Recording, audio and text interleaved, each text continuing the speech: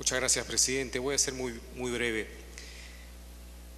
Eh, hemos detectado en los últimos meses que más de 25 colegios particulares, especialmente católicos, han venido rechazando la inscripción o la matrícula de niños y niñas porque sus madres son madres solteras y no podían acreditar con partida de matrimonio esta condición.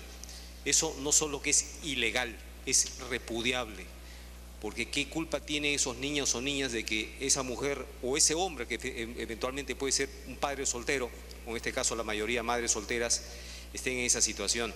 Yo pediría que nuestras autoridades, ya seguramente para los próximos meses que, o fin de año que se inician las, las reservas de matrícula, podamos estar atentos a esta situación que es indignante. Muchas gracias. Sí, no quería dejar pasar la oportunidad para señalar eh, mi posición en relación al comentario que hizo el congresista Delgado hace unos instantes sobre la supuesta discriminación que provendría de colegios privados, probablemente católicos, la mayoría de ellos, o cristianos, que eh, no admiten a determinados alumnos.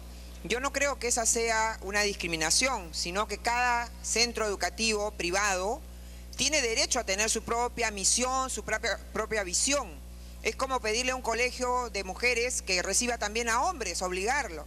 Yo entiendo que eso se puede hacer con colegios públicos del Estado. No se pueda discriminar en razón de determinadas eh, circunstancias, pero a un colegio privado, que es un colegio católico, un colegio eh, cristiano un colegio musulmán, y que tenga una orientación determinada y pueda seleccionar en base a esa, esa eh, orientación a sus alumnos, ¿por qué los padres de familia que no cumplen esos requisitos no buscan un colegio donde se pueda... Dele tiempo para concluir, por favor. Si me deja unos segunditos, este, eh, presidente, gracias.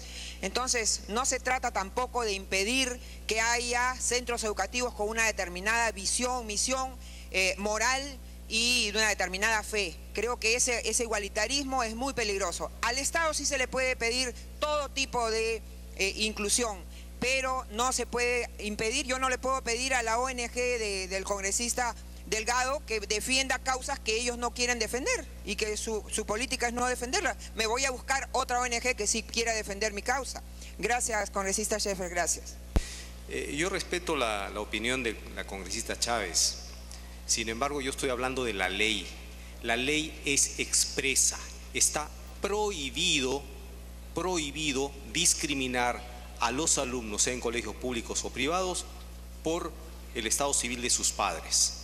Tan es así del que el consorcio de colegios católicos ha emitido un comunicado instando a los colegios a no pedir partida de matrimonio, porque saben ellos perfectamente que es ilegal. Entonces, esta discusión está de más porque la ley lo establece de manera expresa, presidente.